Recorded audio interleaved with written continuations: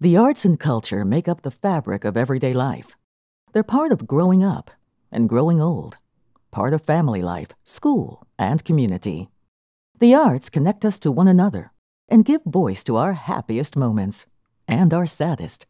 Public funding gives every American the chance to thrive, no matter their age or ability, how much money they have, or where they live.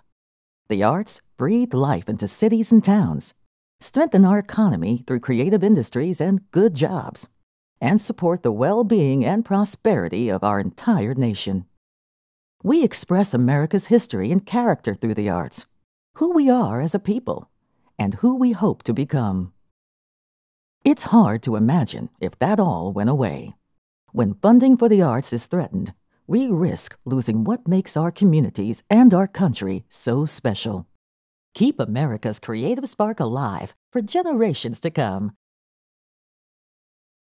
Learn how you can help at nasaa-arts.org/actnow.